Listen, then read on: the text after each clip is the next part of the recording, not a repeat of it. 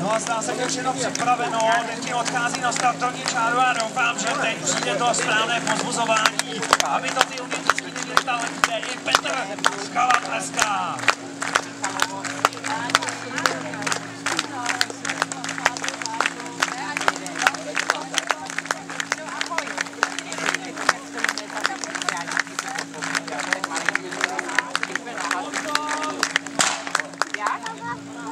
Poslední tři závody a Dechtíny je na dráze a útočí.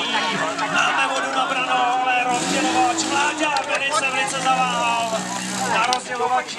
Ještě se to snaží dohnat, ale bude to